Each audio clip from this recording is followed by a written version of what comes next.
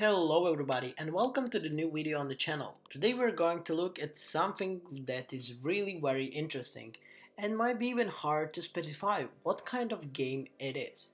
I'm talking about the game Neon White and before we're going to dive deep into the world of this crazy game that is released on PC and Nintendo Switch, I would like to ask you to check if you're subscribed to our channel, have a look if you already clicked like on the video, you can always take it away if you're not gonna enjoy the video, but most of the time it says that 50% of the viewers forget to click it in the end.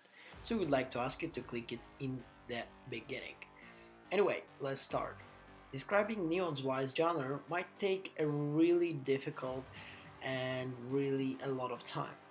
Why? Because it looks like a speedrunning FPS parkour kind of the deck builder kind of game it sounds really crazy, yeah, but believe me, it is crazy not only sounding but in the way how you play it.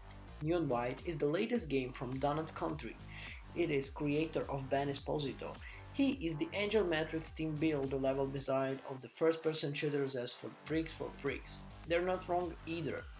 Despite some rough narrative moments and occasional hiccups, Neon White is a blazing fast shooter with the style, precision and a lot of dead demons nailing several of these moves in a row that will complete the most of the levels and late sequences look like a nearly incompetent blur of guns and special abilities, but each individual action is relatively simple.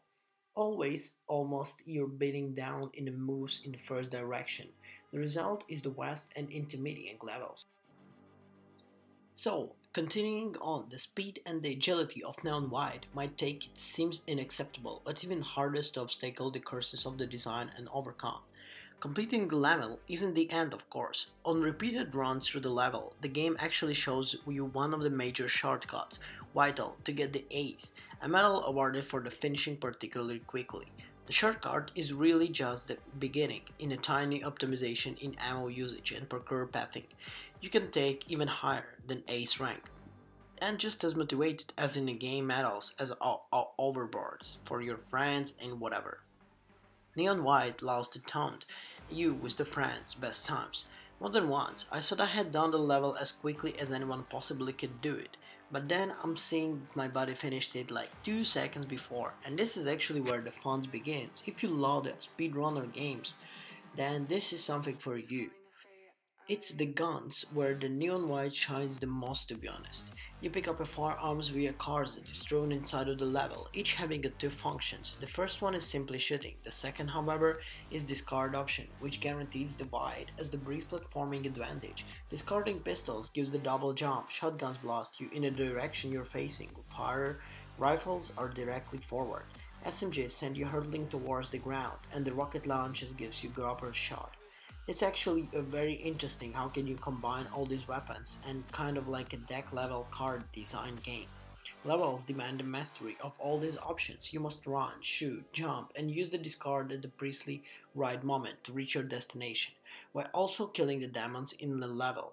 I love trying to retelling the levels over and over until I finally combine the moves and correct.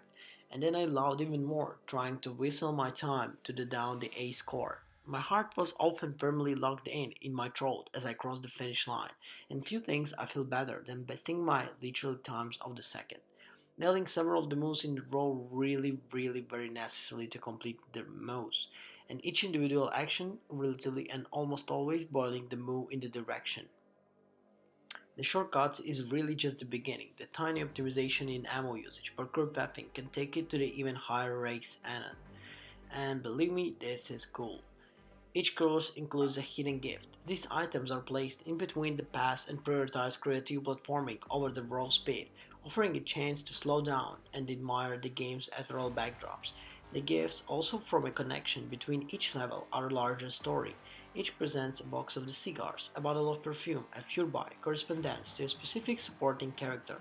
Best of the game isn't simply FPS parkour deck builder, but also a visual novel through an absurd of the conversations, the game reveals the protagonist, White, is one of the several characters temporarily plucked into hell to give them the chance to complete for a place in heaven. Also, there is not so much narrative branching in the story, the hidden gifts unlock the new dialogues and the side quests for the main cast. When the story gets a bit more serious, it's pretty good. Neon White quickly goes from demon slaying gags to questions one that's carry over into the afterlife. If you got some good Kobe vibes, which can make satisfied with Steve Blum in the role of the Neon White all the most appreciated. Really, the whole voice cast does a pretty good job across the board, but I didn't feel like the narrative was extremely where Neon White falters a bit. If you're not eager to complete Neon White, it's still fairly finishable without acing every run.